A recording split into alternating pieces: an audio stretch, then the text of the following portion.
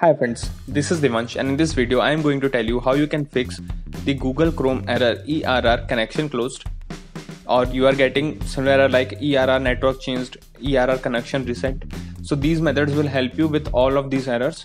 So please watch this video completely and let's begin. So the first method is try to reset the network connection. To reset the network connection, go to your Wi-Fi, click on it, click on forget by this way, you can forget your Wi-Fi connection and then again try to connect it. If you are using Ethernet cable, then in that case, just plug it out and again try to plug in. Once you plug in, it again reset the network connection.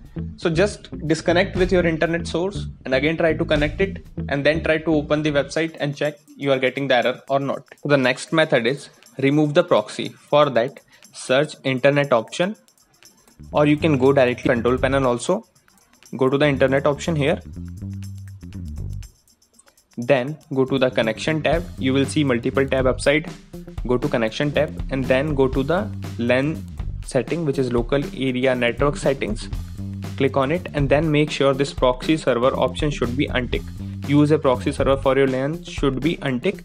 After that click on ok to save it and then again try to open your website and check that it is opening or not. Now the next method is use the DNS server. For that go to the control panel. Once control panel get open, go to network and internet and then here go to network and sharing center.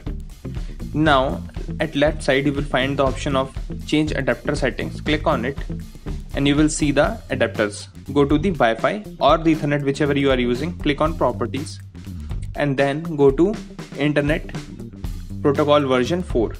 Go to properties. Here click on use the following DNS server address.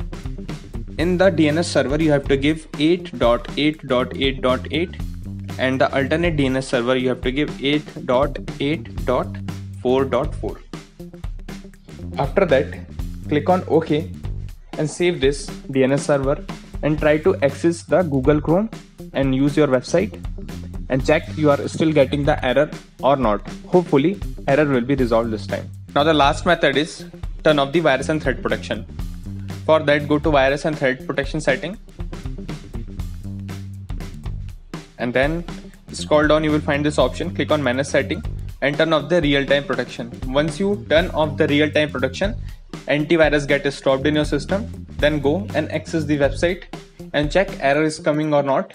Sometime virus antivirus treat it as threat that website as threat and does not allow it to open. So turning it off might work. Try this method also. So these are all the methods which can help you to fix the error. If any of this method help you please like this video and subscribe to this channel. Thank you for watching